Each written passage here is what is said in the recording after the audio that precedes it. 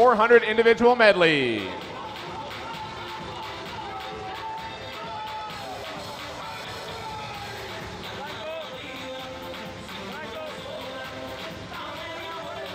The Vietnamese swimmer in lane number four, Vien Nguyen. Her first pool was the canal that ran in front of her home in Vietnam. She's now a captain in the Vietnam People's Army, moved to the Army Sports Center 10 years ago to train, able to see her family only once a week. As you see there, just missed making the final in Rio. In lane one, Valerie Gruest Slowing of Guatemala, Rio Olympian, was 29th in the 400 free, 22nd in the 800 free, and swimming the IM here.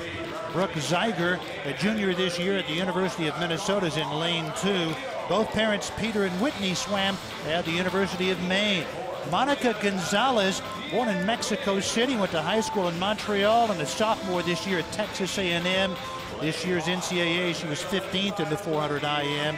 Vien Nguyen, a two-time Olympian for Vietnam, both London and Rio. And as Rowdy mentioned, she was ninth in Rio in this event. Brooke Forde, 18 years old, out of Louisville, Kentucky. She's committed to Stanford. She'll be a freshman next year. Her, her abilities are compared to Ella Eastin. And in lane six, Bethany Galat, a junior this year at Texas A&M. She just missed Rio. She was third in the 200 breast in the trials, third in the 400 IM. And Maggie Aroesty of Long Beach, New York, 18 years old. She was ninth in the semis of the 200 IM at trials, 18th in the 400. And Mabel Zavaros, the 17 years old from Canada, is in lane eight. On the left of your screen, Brooke Forde. On the right, Bethany Galat. Although Galat was so close, Rowdy, she came out of the trials more happy than disappointed. And that's a great attitude to take when you think about it, Rich, because she was not expected to make the team, and to finish that high really gave her a lot of confidence to move into this next quad and know that she can get better. And the fact that Maya DiRado is retired, Elizabeth Beisel is in the twilight of her career, she's got a good chance to move up and make a major international team this summer. Lane one is at the top of your screen, lane eight at the bottom. Mabel Zavaros of Canada going out quickly here in the butterfly leg. And Rowdy, we've talked about this often, like this race, because there's so many leads, lead changes that get to the strokes where people are better. Yeah, and that's where strategy is so important. And you know, it's tough to have a strategy in the beginning of May when you're talking about a long course season, Rich.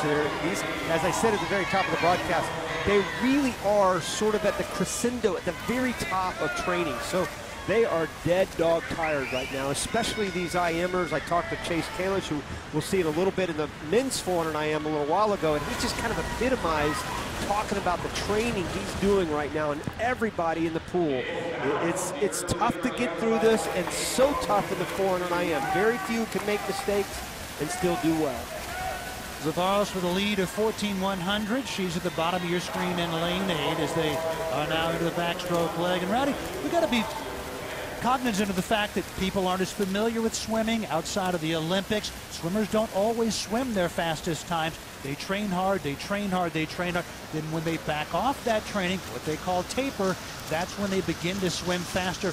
Right now they're at the height of that training, so not as many fastest times. Some can do it. Some can consistently swim fast throughout the season. You take a Nathan Adrian, you always can book at him swimming a 48 plus in 100 freestyle, but most really have to say that it's it's sort of like the NBA. I, I, look at the NBA in a regular season game. It's not a big deal if the Cleveland Cavaliers don't win because they know they'll be there at the end. And that's sort of like it has to be in swimming in so many different ways. And and these are the strengths and weaknesses that these swimmers look at right now. You look at Bethany Galat, really has the second fastest time of anybody else in this field, and she's way back there right now in probably fourth or fifth place. She's in lane six. Zavaros with a 9 100s lead over Brooke Forde with Vien Nguyen just behind. Brooke Forde in lane five. The daughter of sports writer Pat Forde. And she is just to the left of Vien Nguyen toward the middle of your screen right there. Forde in the dark cap.